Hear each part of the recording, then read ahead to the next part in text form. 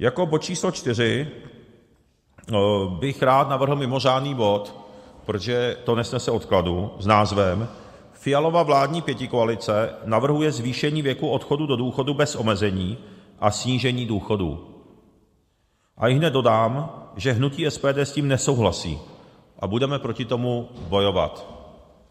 Ministr práce a sociálních věcí Marian Jurečka z KDU-ČSL minulý týden představil vládní návrh zákona k takzvané důchodové reformě. Z pohledu SPD se nejedná o opravdovou reformu, ale o soubor několika parametrických změn, které jsou pro nás zčásti nepřijatelné a hlavně vůbec neřeší budoucí udržitelnost důchodového systému z hlediska jeho stability a příjmů. Naprosto odmítáme záměr Fialovy vlády zvyšovat věk odchodu do důchodu nad současných 65 let, a to bez omezení, což se má týkat již osob narozených v roce 1966 a mladších. Stejně tak zásadně nesouhlasíme se snižováním poměru starobního důchodu vůči předchozí mzdě, což vláda hodlá spustit již v případě občanů, kteří půjdou do důchodu v roce 2026 a později. Nepřijatelné je pro nás i omezení výchovného od roku 2027 a neúplný výčet rizikových náročných profesí, u nichž bude nárok na dřívější odchod do plného řádného důchodu.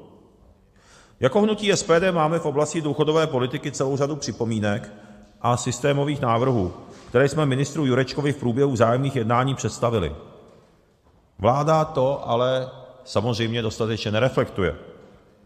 Naši zástupci a experti jsou připraveni o důchodové reformě jednat i s prezidentem Pavlem, který ovšem přes slibovaná jednání s opozicí hnutí SPD neoslovil a znovu tak potvrzuje, že není prezidentem všech občanů.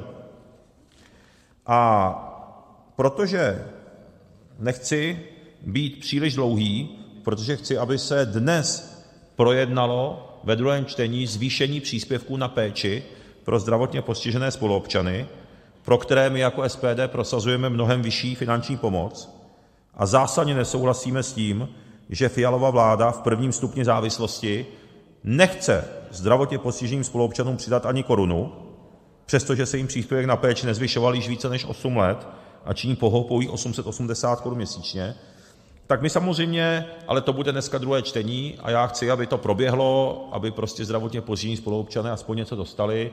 SPD to tady navrhuje už dva roky, zásadní zvýšení příspěvku na péči pro zdravotně postižené občany. Vy nám tady blokujete celé dva roky a teď navrhujete prostě úplně, nedostatečnou verzi.